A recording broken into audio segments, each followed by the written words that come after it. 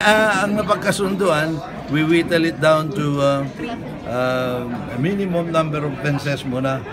So, uh, tatlo, dalawa. Ano, po yung crimes niya? Pag uh, drug drug related offenses. And then plunder. And then treason. Why is that, sir?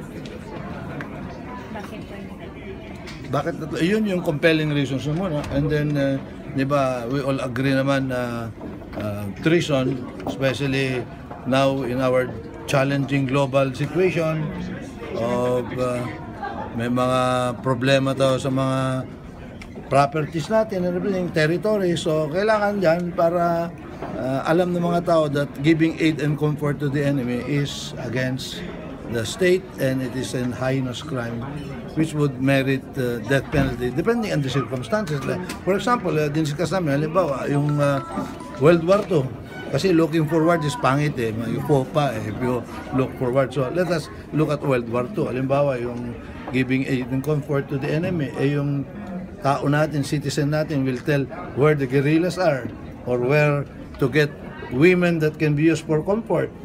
And then magiging comfort women sila. So mag-agree naman tayo na hindi naman tama yun. Lalo, and treason naman is only committed during times of war. So there is not danger. Wala naman matatakot dyan eh. But uh, in times of war naman, the country would want the loyalty of its nationals. Very clear naman yun. Plunder. So sasama natin, sinama namin. Uh, I mean, to maintain it in the bill because media kasi had the uh, notion that it was removed from the bill. We have not removed anything. In fact, the bill as it stands includes plunder and 20 other offenses. So we're now, uh, upon our agreement, then we will introduce an amendatory uh, bill.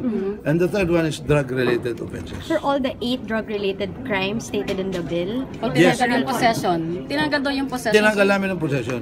Of Mere possession, eh, hindi na kasama yon sa... but everything else, sir, included. Yes. So did you also